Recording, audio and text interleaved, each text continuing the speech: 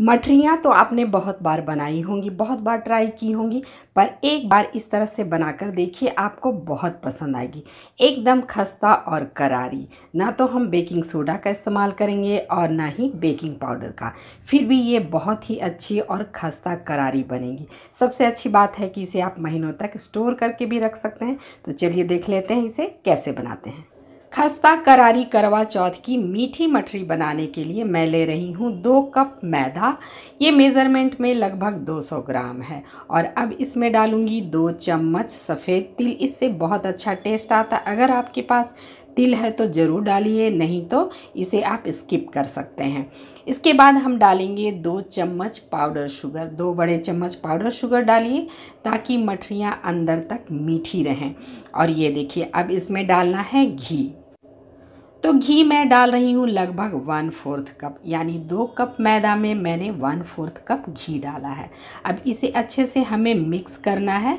तो हाथों से बढ़िया से मसल करके इसे मिक्स करिए ताकि सारे आटे में ये अच्छे से कवर हो जाए।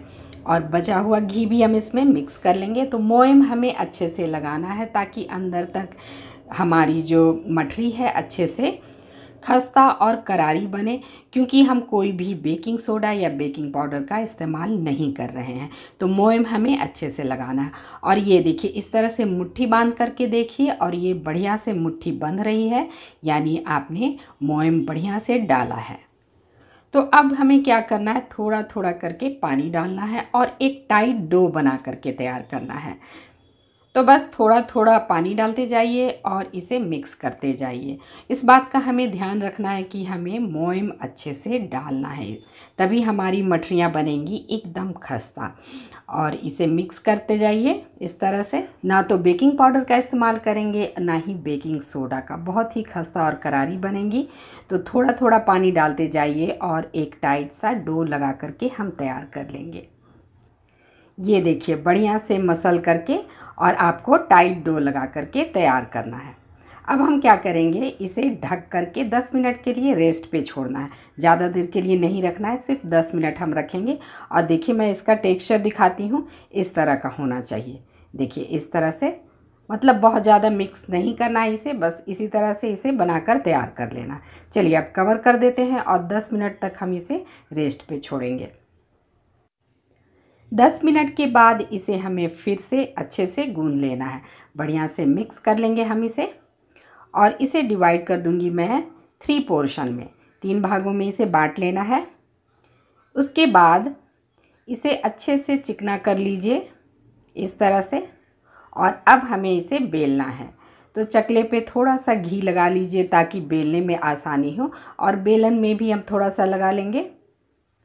और अब हमें इसे रोटी के आकार का बेल कर तैयार कर लेना है। और थिकनेस हमें थोड़ी सी मोटी ही रखनी है मतलब बहुत पतला नहीं बेलना है, थोड़ा मोटा रखना है। देखिए, मैं आपको दिखलाती हूँ। इस तरह से बेल लीजिए।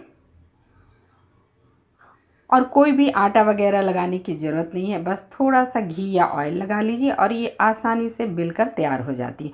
और देखिए थिकनेस रखनी है आपको इतनी मतलब इतनी मोटी आपको बनानी है और ये ग्लास से मैं कट कर लूँगी। आप कोई भी कटोरी या जिस साइज़ का आपको बनाना हो, उस साइज़ का इसे कट कर सकते हैं।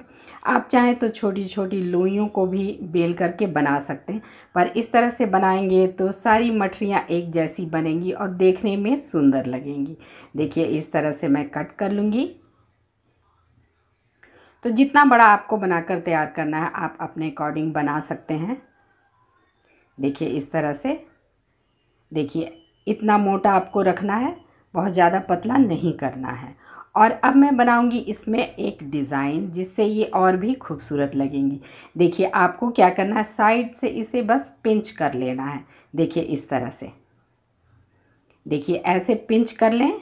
इससे ना फ्लावर का शेप आ जाएगा और बहुत ही बढ़िया लगता है ये डिज़ाइन। अगर आपके पास कोई दूसरा डिज़ाइन हो तो आप उस तरह से भी बना सकते हैं। देखिए, आप किस तरह से बनाती हैं, हमें कमेंट करके ज़रूर बताइएगा। इस तरह से आपको पिंच कर लेना। अब देखिए, ये कितना खूबसूरत लग रहा है ना? देखिए, इसी तरह से हमें सारे बनाकर तैयार कर लेने हैं। और ये जो बीच का पार्ट है ना, इसे फोर्क से या नाइफ़ की हेल्प से हम प्रिक कर लेंगे, ताकि जब हम इसे तलें तो ये फूले ना। देखिए इस तरह से, है ना? तो आप किस तरह से बना करके तैयार करती हैं मठरियाँ, हमें ज़रूर बताइएगा। और इसी तरह से हमें सारे बना करके तैयार कर लेना है। देखने में काफ़ी खूबसूरत लगती हैं जब ये बनकर तैयार होती हैं। देखिए इस तरह से। तो चलिए हम अब नेक्स्ट प्रोसेस करेंगे। तो अब बारी है मठरियों को तलने की। यहाँ मैं ऑयल गरम कर रही हूँ। ऑयल की जगह घी का भी इस्तेमाल कर सकते हैं। और तेल को रखना है मीडियम हॉट पे। यानी बहुत ज़्यादा गर्म नहीं रखना है, ना ही बहुत ज़्यादा ठंडा रखना है। और एक एक करके मठरियों को इसमें डालते जाइए।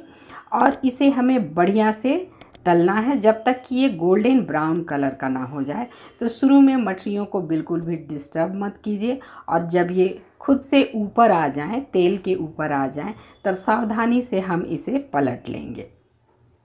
और इसे एकदम गोल्डन ब्राउन होने तक हमें तलना है ताकि ये अंदर से भी पक जाए और खस्ता और करारी बन जाए। देखिए, इस तरह का कलर आ जाने के बाद हमें मठरियों को सावधानी से बाहर निकाल लेना है।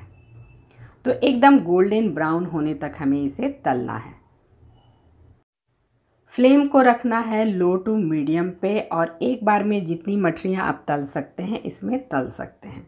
तो चलिए इन्हें हम बाहर निकाल लेते हैं और इस तरह से सारी मछलियों को आपको फ्राई कर लेना है। तो इन छोटी छोटी बातों का ध्यान रखेंगे ना तो आपकी मछलियाँ भी बहुत ही अच्छी बनेगी, एकदम खस्ता बनेगी। देखिए, अब हम दूसरा बैच भी इसी तरह से डाल देंगे और उसे भी तलकर तैयार कर लेंगे। और देखिए, ये एकदम बिस्किट की तरह लग रही हैं।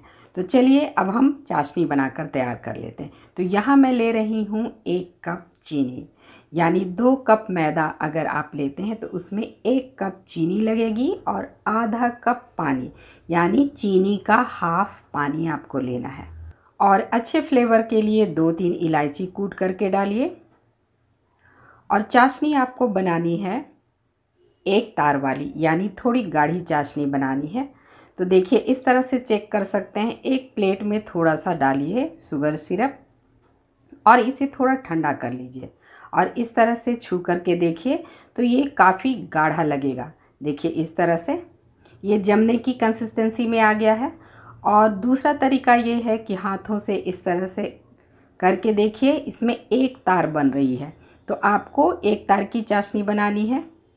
तो चलिए, शुगर सिरप तो बनकर हो गया है तैयार। और अब क्या करना है? फ्लेम को कर दीजिए बंद और इसमें एक एक करके हम मठरियाँ डालते जाएँगे और दोनों तरफ़ से अच्छे से कोट करते जाना है। और इसी तरह से चाशनी में डुबो करके सारी मठरियों को हम निकालते जाएँगे। देखिए, इस तरह से दोनों तरफ़ से इसे कोट कर लीजिए और इसे निकाल लीजिए। आप चाहें तो बड़े पैन में भी चाशनी बना सकते हैं, जिससे होगा ये कि सारी मठरियाँ आप एक साथ डाल सकते हैं। मेरा पैन ये थोड़ा छोटा है तो मैं थोड़ा थोड़ा करके डाल रही हूँ। इसी तरह से शुगर सिरप में डुबोते जाइए और सारी मठरियों को बाहर निकाल के रखते जाइए। देखिए इस तरह से ठंडा होने के बाद ये और भी खस्ता और करारी हो जाएँगी और स्टोर करने के लिए इसे बिल्कुल ठंडा कर लीजिए, फिर इसे स्टोर कीजिए और ये महीनों तक ऐसे ही रह जाती हैं, ख़राब नहीं होती हैं। तो आपको मठरी की रेसिपी कैसी लगी? कमेंट करके हमें ज़रूर बताइएगा। और वीडियो पसंद आया हो तो एक लाइक तो बनता है। साथ ही चैनल को सब्सक्राइब करके बेल आइकन को ज़रूर प्रेस कीजिए लेटेस्ट अपडेट पाने के लिए। तो मिलते हैं नेक्स्ट एक्साइटिंग वीडियो पे. Till then thanks for watching bye bye and take care